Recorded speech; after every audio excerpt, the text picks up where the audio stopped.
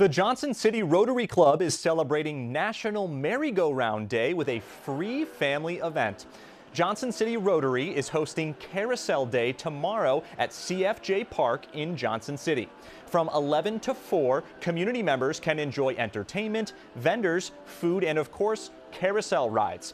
During the event, the basketball courts, playground, and water spray park will also be open.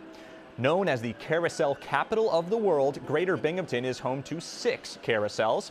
The CFJ Park Carousel is over 100 years old and is one of the area's largest carousels. Coordinator Sue Paredes calls the carousel a gem for our community.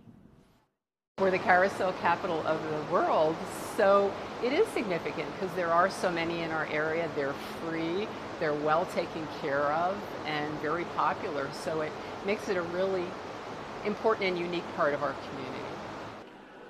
She says the event not only celebrates our local carousels, but the beauty of Johnson City. Admission to the park's carousel is free and it'll be open until Labor Day from noon till 6 p.m.